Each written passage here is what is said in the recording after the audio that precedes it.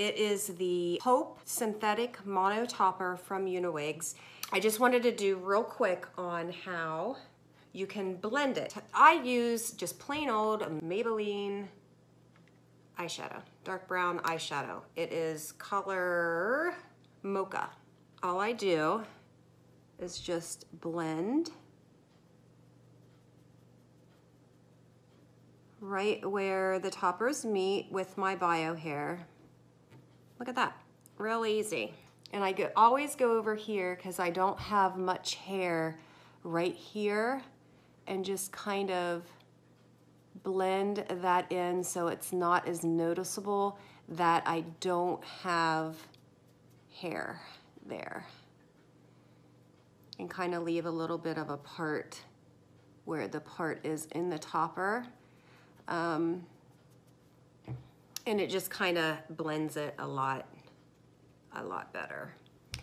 Maybe go right, I, this is hard to do this in the camera.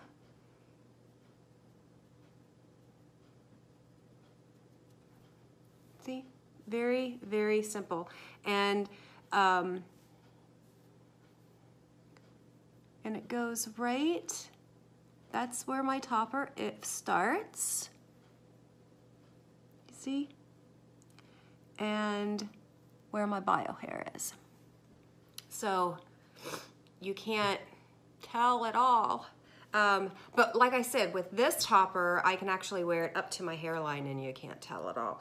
Um, but if you have one that's not quite um, a nice lace front as this one, that's what I do to all of my toppers. I just use eyeshadow.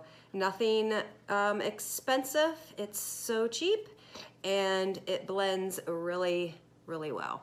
And if I have a darker root, I will use like a black eyeshadow um, with the darker root. This one, you don't even need to put concealer on the, the part uh, like some other ones that you do.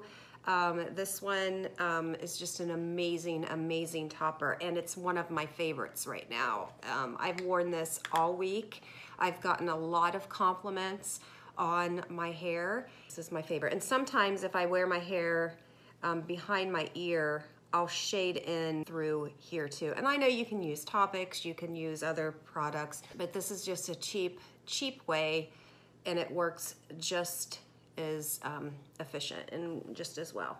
So that's all for today, folks. Thank you so much for watching.